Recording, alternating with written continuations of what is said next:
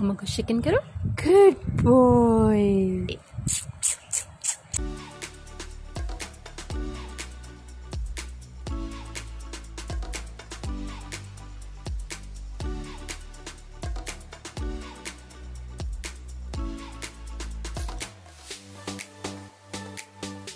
hello everyone welcome back to another weekend vlog तो हर morning की तरह ही शुरू होती है मेरी वीकेंड मॉर्निंग भी एक्सरसाइज के साथ। और घर का हर मेंबर बिज़ी होता है अपनी रूटीन जॉब में। घर में कोई भी बहुत छोटा बच्चा नहीं है, इसलिए घर को क्लीन रखने की रिस्पॉन्सिबिलिटी घर के हर मेंबर की होती है। इसलिए बच्चे अपने रूम्स को खुद क्लीन करते हैं। उदय की ऑनलाइन क्लास 9 बजे शुरू होती है और 12 बजे तक चलती है। लेकिन क्लास अटेंड करने से पहले वो ब्रेकफास्ट कभी नहीं करेगा। स्मूदी वगैरह पी लेता है, इसीलिए डेली उसे अलग तरह की स्मूदी बना के दे देती हूँ। जल्दी आओ। आओ, पहले ब्रश करेंगे, बाद में खेलेंगे पहले ब्रश करेंगे ब्रश करना है पहले। स्टफी गुड बॉय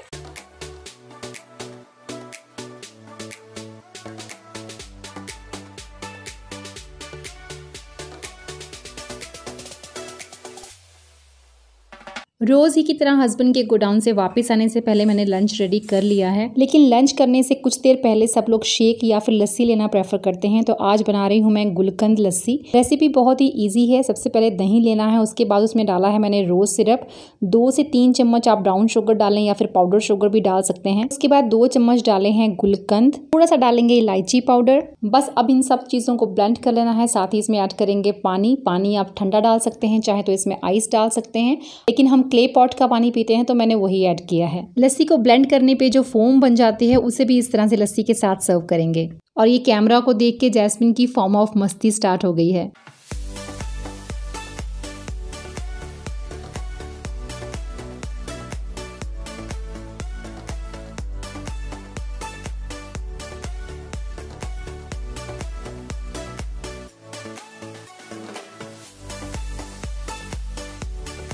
आज मैंने राजमा और राइस बनाए हैं। आप सोचते होंगे, कितने व्लॉग्स में हम राजमा और राइस खाते आपको नज़र आते हैं। और वो इसीलिए कि बच्चों के वो फेवरेट हैं और मुझे वीक में दो बार बनाने पड़ते हैं। सबको लंच करवाने के बाद मैं शुरू करती हूँ अपना क्लीनिंग पार्ट तो डेली एक से डेढ़ घंटा मैं अपने घर को क्लीन करने में ज़रूर लगाती हूँ। जैसा कि पहले भी मैंने अपनी वीडियोज़ में बहुत बार बताया है कि मैंने अपने घर की क्लीनिंग को पार्ट्स में डिवाइड कर लिया है, जिससे ईजिली आप सब कुछ मैनेज कर पाते हैं।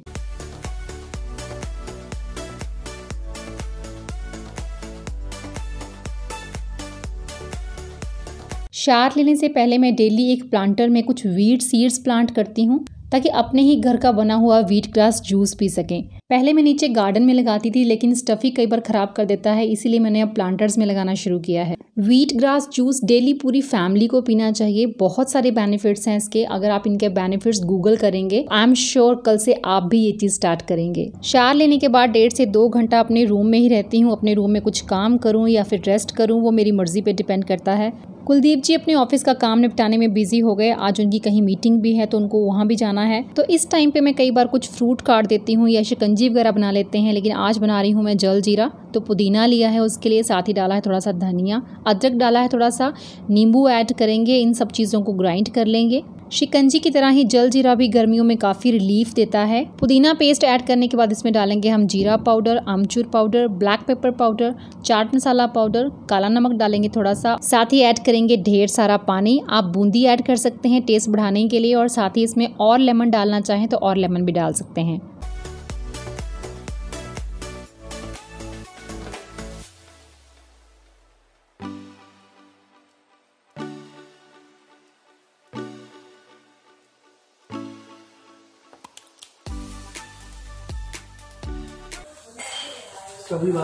और यहाँ पे जैस्मिन को भूख लग रही है, स्नैक्स वाली भूख।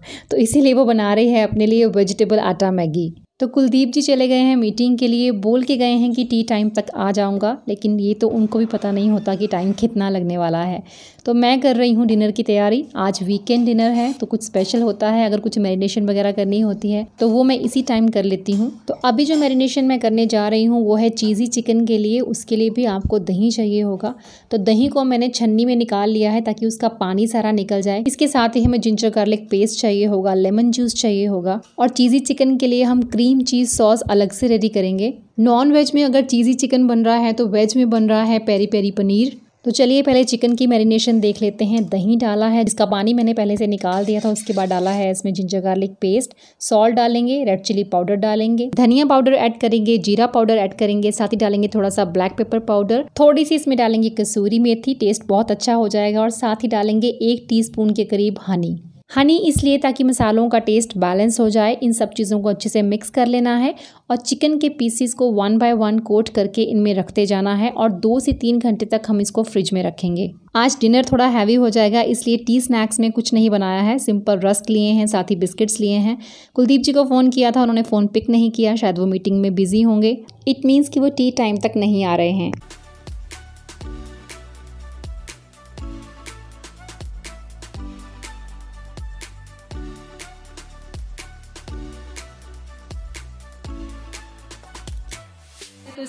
ऐसे करके मारे। तो ये चल पड़ता है नहीं इसको पिटाई की ज़रूरत है। बस अगर हम कोई ढंग की बात कर दे तो हम पागल है। ऐसे ऐसे तो कर सकते हो। टेबल पे थोड़ी ऐसे ऐसे कर सकते हो। तो टूट जाएगा।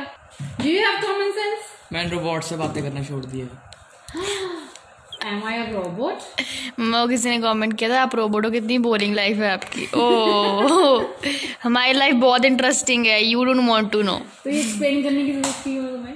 हमें नहीं है पर हमें पता है हमारी लाइफ बहुत इंटरेस्टिंग है। समटाइम्स हमें लगता है इतनी ज़्यादा interesting life oh my god नहीं नहीं अगर हम अपनी लाइफ में खुश हैं और इंटरेस्टिंग लाइफ हमें लगती है हमारी लाइफ इंटरेस्टिंग है तो किसी को कुछ भी एक्सप्लेन करने की ज़रूरत ही नहीं है। जो जैसा सोच के खुश है उसे वैसे खुश रहने दो। उन्हें पता होना चाहिए कि हमारा एक भी दिन नॉर्मल नहीं होता तो फिर बोरिंग तो बिल्कुल भी नहीं।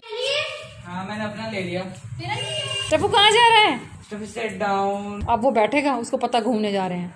आजकल स्टफ़ी की इवनिंग वॉक के लिए मैंने बच्चों की ड्यूटी फिक्स कर दी है और इस वॉक से एक तरह उनका वार्म अप भी हो जाता है और आके वो अपना वर्कआउट स्टार्ट कर सकते हैं।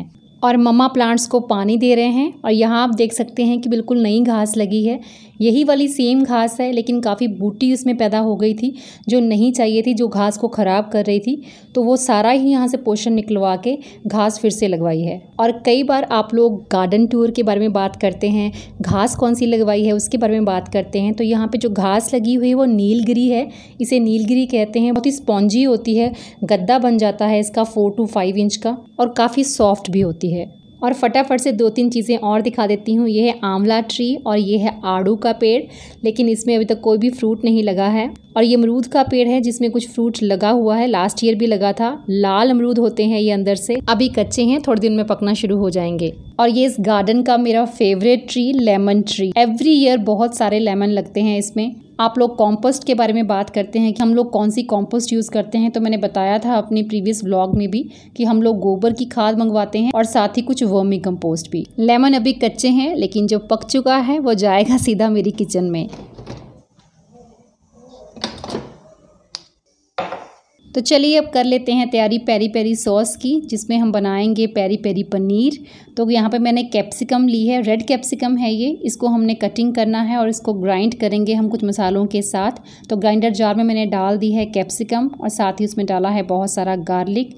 लाल सूखी मिर्च लेनी है आपको दो से तीन। अगर आप बहुत तीखा नहीं खाते हैं तो कम डाल सकते हैं या फिर इनके सीड्स निकाल के भी ऐड कर सकते हैं। साथ ही इसमें डालेंगे कुछ हरा धनिया। तो पेरी पेरी सॉस को आप फ़िश बनाने के लिए चिकन बनाने के लिए या फिर पास्ता बनाने के लिए भी यूज़ कर सकते हैं। साथ ही ग्राइंडर जार में मैंने डाला है थोड़ा सा सॉल्ट ब्लैक पेपर पाउडर साथ ही डालेंगे थोड़ा सा व्हाइट विनेगर और थोड़ा सा रिफाइंड ऑयल क्या कह रहे मम्मा? घर बैठो सीखो अंग्रेज़ी। घर बैठो अंग्रेज़ी सीखो नहीं घर बैठे अंग्रेज़ी। घर बैठे अंग्रेज़ी। वो आपने अंग्रेज़ी सीखनी है। मैं सिखाऊँगी वो जो बुक्स ली थी इतनी सारी और बुक्स ली थी मशीन पड़ी है वो हाँ इंग्लिश मशीन ली थी इंग्लिश सीखने वाली। वो मंगाई थी पापा ने और वो रख दी अंदर। म्यूज़िक स्टार्ट हो गया है जो कि शो करता है कि जैसमिन की एक्सरसाइज स्टार्ट हो चुकी है। जैस्मिन इंटरमीडियंट फास्टिंग भी कर रही है और साथ में थोड़ा बहुत वर्कआउट भी। लेकिन उसका मेटाबॉलिज्म बहुत स्लो है तो मेटाबॉलिज्म का स्लो होना या फास्ट होना उसमें आपका कोई फॉल्ट नहीं होता है, वो बाय नेचर ही होता है। वेट उसका लूज हो रहा है, लेकिन अगर मैं ये कहूँगी कि बहुत फास्ट फैट लॉस हो रहा है तो वैसा कुछ नहीं है। लेकिन जो अच्छी बात है, वो ये भी है कि उसका वेट बढ़ नहीं रहा है। लेकिन इससे पहले वो एवरी मंथ वेट गेन कर रही थी तो उस चीज़ से वो अब सेफ़ हो गई है। लेकिन इंटरमीडियंट फास्टिंग के बाद से उसने साढ़े तीन से चार किलो के अराउंड वेट लूज़ कर लिया है। और इसी तरह अगर कंटिन्यू रखेगी तो अपने रिक्वायर्ड वेट तक पहुँच जाएगी।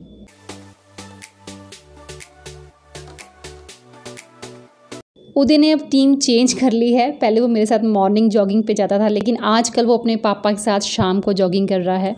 मेरा पूची क्या कर रहा है ऊपर? घूमी घूमी करके आ गया हाँ? बोलो। बोलो, जैस्मिन। फॉरगेट इट दीदी आवाज़ लगाती है फिर आगे कुछ नहीं बोलती। मुझे किचन में तुम दोनों की हेल्प चाहिए तो अपना वर्कआउट जल्दी खत्म करो। मैं इस मुझे किचन में तुम दो मुझे किचन में थप्पड़ खाएगा। मुझे किचन में तुम दो Stuffy Stuffy that was a punch जल्दी पतली होके नीचे आना ओके उदय अपने पापा की वेट करता रहा, लेकिन जब वो नहीं आए तो फाइनली फिर उसने अपनी एक्सरसाइज स्टार्ट की।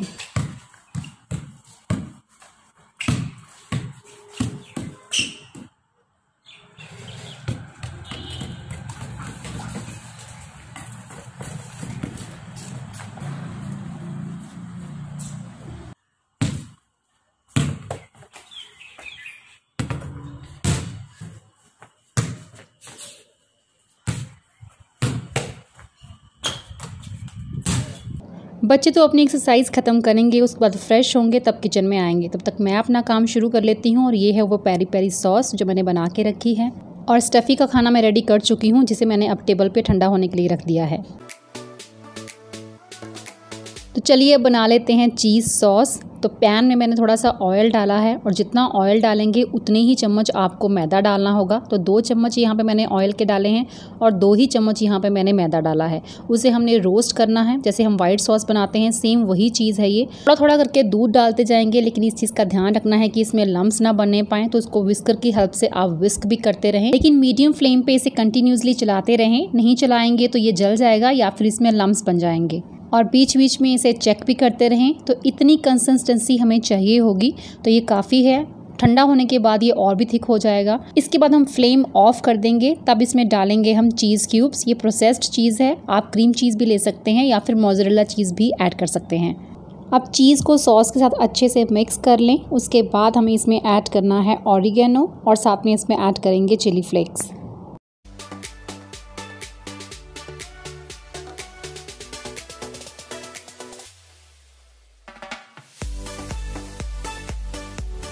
स्टफू चलो खाना खाओ। जल्दी आओ। भाग के। स्पीड में। शाबाश गुड बॉय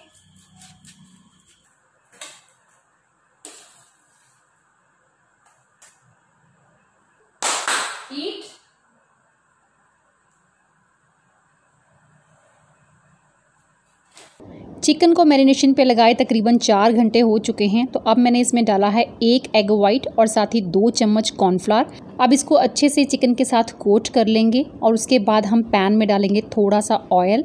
तो आपने इनको शेलो फ्राई करना है डीप फ्राई नहीं करना है। इन पीसीस को आप पैन में रखते जाएँगे। आप चाहें तो इनको अवन में बना सकते हैं या फिर तंदूर में भी बना सकते हैं। पैन में भी अगर आप इनको कवर करके आठ से दस मिनट तक टर्न करते हुए पकाएँ तो ये आराम से पक जाते हैं। हर वीकेंड पे कुलदीप जी को आपने मेरे साथ किचन में काम करवाते हुए सैलड कटवाते हुए या फिर जूस बनाते हुए देखा है।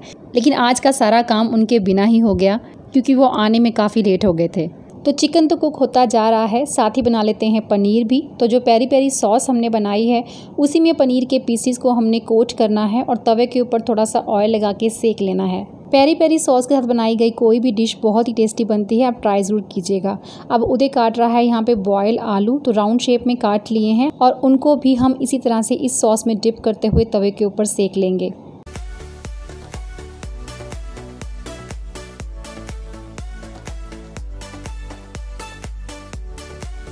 आज ना तो जूस बन रहा है, ना ही लेमन सोडा। तो आज हम बनाएँगे वाटरमेलन लेमनेड तो वाटरमेलन लिया है जैस्मिन ने ग्राइंडर जार में और साथ ही दो चम्मच डाले हैं ब्राउन शुगर साथ ही डालेंगे एक लेमन का जूस इसमें डालेंगे थोड़ा सा क्लब सोडा अब इनको ग्राइंड कर लेंगे और वाटरमेलन लेमनेड रेडी हो जाएगा। कुलदीप जी का ऑफ़िस का काम अभी बाकी था तो अभी वो वही निपटा रहे हैं। उसके बाद हम लोग डिनर करेंगे। सैलड के लिए मैंने पत्ता गोभी और खीरा लिया है, साथ ही थोड़ा सा उसमें ब्लैक सॉल्ट और लेमन ऐड किया है और जो पेरी पेरी सॉस हमारी बच गई है, वो भी मैंने इसी सैलड में ऐड कर दी है, जिससे टेस्ट इसका काफ़ी अच्छा हो जाएगा। ऊपर से आप इसमें थोड़ा सा हरा धनिया डाल दें। साथ ही रिंग्स में कुछ प्याज काट लिए हैं, उसके ऊपर वाइट विनेगर डाल दिया है तो बस हमारा सैलड भी रेडी है। दिन भर के सारे काम और इतनी सारी कुकिंग के बाद ऑब्वियसली बॉडी थक तो जाती ही है। लेकिन जब फैमिली के साथ हम डिनर एंजॉय करते हैं, वो भी वीकेंड स्पेशल डिनर तो बॉडी फिर से रिचार्ज हो जाती है। पापा मम्मा को खाना खिला दिया था क्योंकि आज हमारा डिनर काफ़ी लेट हो गया था। और वीकेंड का एंड हुआ बच्चों की डांस परफॉर्मेंस के साथ, जिसे वो डेली यहाँ वहाँ खड़े प्रैक्टिस करते रहते थे। और जब हमने उन्हें परफॉर्म करने के लिए बोला तो इस तरह से उन्होंने अपने डांस को प्रेजेंट किया। तो आप भी इंजॉय कीजिए उनकी परफॉर्मेंस और मैं मिलती हूँ आपसे नेक्स्ट वीडियो में। Till then bye take care and stay healthy